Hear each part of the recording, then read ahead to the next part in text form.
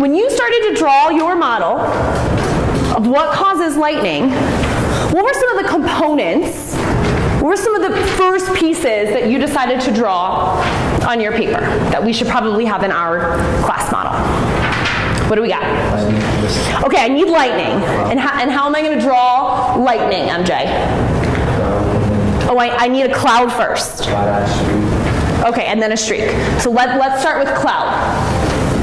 Does everyone agree I need, I probably have a cloud here. I think most of us had that in our model. Cool. Cloud. Okay, cool. One cloud or do I need more than one cloud? I need a lot of clouds? How many is a lot? I don't know, doesn't matter.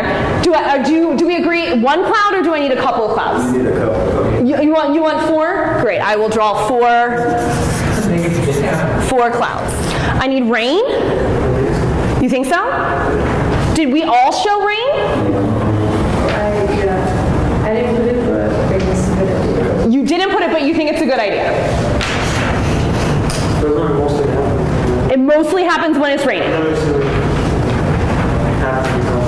Has anybody seen lightning happen without rain? But I should still put it? Should I put it and write a question? Does it matter? Doesn't like rain Hold, hold on. Oh, you're right. I'm missing the lightning still. Yeah. Doesn't rain cause what, David? humidity? What do you mean by humidity again?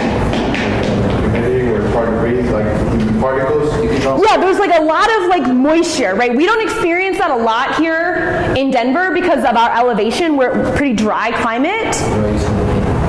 But being when it's raining, it's, it's humid out. There's a lot of moisture in the air. And what do we know about places where lightning happens the most? It's humid, like Texas and Florida. That was the noticing from last week. Yeah. Is it positive and negative? Po- okay, positive and negative what? Positive and negative energy. So there's energy in here. There's energy. There's what? Electricity. Are those the same thing? Energy and electricity, and I and I didn't put that in there. Can I just write that in the box?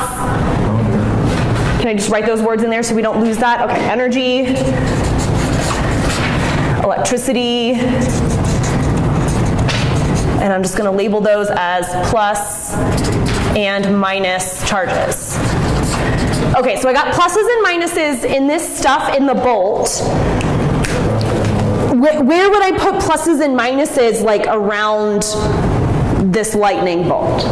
Oh, you thought lightning comes in the summertime. It's more common in the summer. Do, does that sound familiar from our data? Is it more common in the summer? Yes, when it's hot out. So are you saying that I should put leaves on this tree then?